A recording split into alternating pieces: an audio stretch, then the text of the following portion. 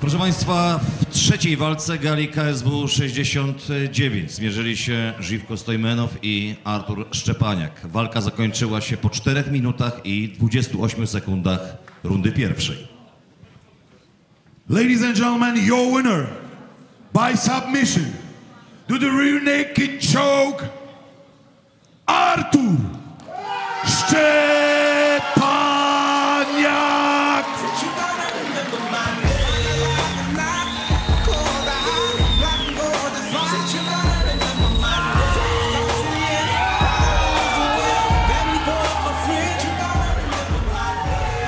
Artur, ja wiem jak ty długo czekałeś na ten moment, żeby pojawić się tu w Polsce, żeby zawalczyć przed własną publiką, żeby zawalczyć przed własną rodziną i zrobiłeś no niesamowitą e, rzecz. Oddaję ci teraz głos, bo ci ludzie chcą cię usłyszeć.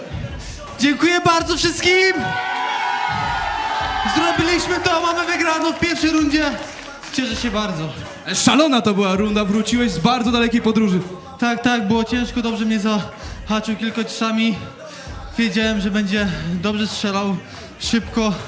Na początku nie mogłem wejść w grę, ale wszystko poszło według planu.